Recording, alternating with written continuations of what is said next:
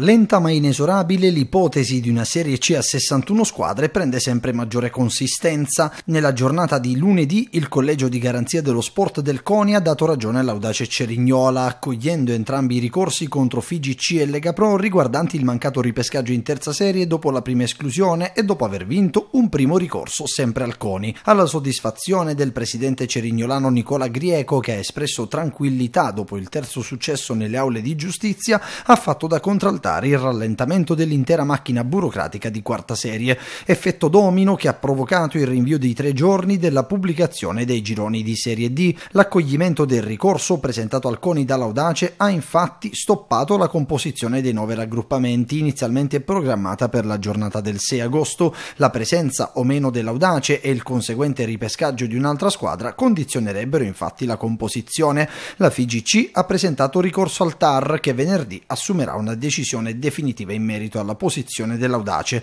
La certezza è una sola a questo punto, il prossimo weekend sarà per il club fantino, dopo due mesi di totale incertezza, diverso dagli altri. Il team allenato da Alessandro Potenza saprà infatti quale campionato frequenterà, un verdetto che al momento blocca anche le altre 162 squadre che prenderanno parte al prossimo torneo di Serie D.